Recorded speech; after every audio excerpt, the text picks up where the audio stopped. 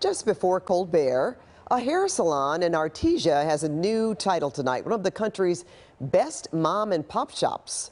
All About Hair was one of the businesses picked by Yelp as one of the best independently owned businesses in the country. And tonight we talked to one of the owners of All About Hair about why he thinks they were chosen.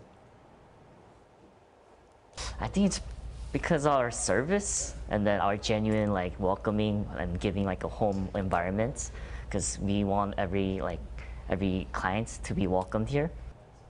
Other local businesses that were named best mom and pop shops, Little Vegery, a vegan and gluten-free restaurant in Redondo Beach, the Pure Imagination Party Company in Orange, and Savior Back, S-A-V-I-O-R, Save Your, okay, you know what I mean there. It's a chair store in Irvine. Congrats to them. Jim